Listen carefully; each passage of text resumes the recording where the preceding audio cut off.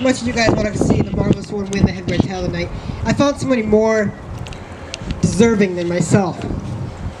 He's a new athlete in this roster. My friend, Alex Brookes.